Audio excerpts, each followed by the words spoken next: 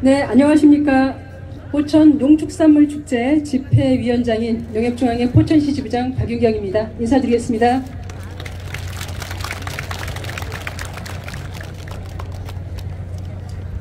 어, 화창한 가을날 결실의 계절에 2022 포천 농축산물 축제 한마당 행사를 개최하게 된 것을 무척 기쁘게 생각합니다.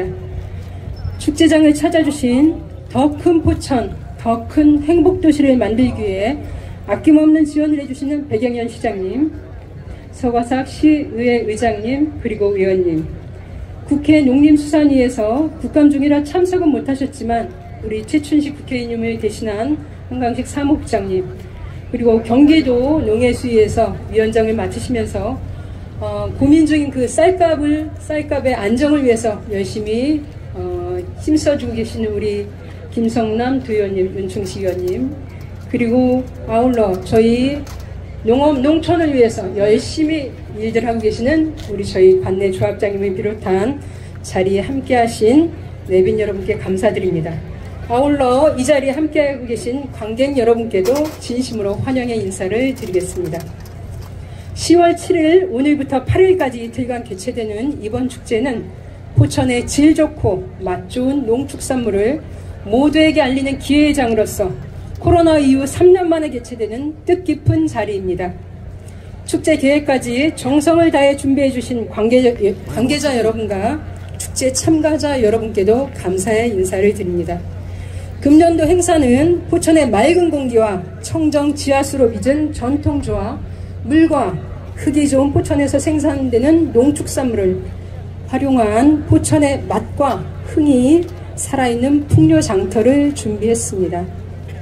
행사장 앞쪽에 보시면 그 풍류 주막이라는 풍미가 뛰어난 포천산 막걸리를 맛보실 수 있으며 근처에 위치한 풍류마당에서는 다채로운 이벤트와 행사, 표정궁합 국악 공연이 펼쳐지니 마시고 즐기며 그간의 회포를 푸는 흥겨운 축제장이 되시기를 기원합니다.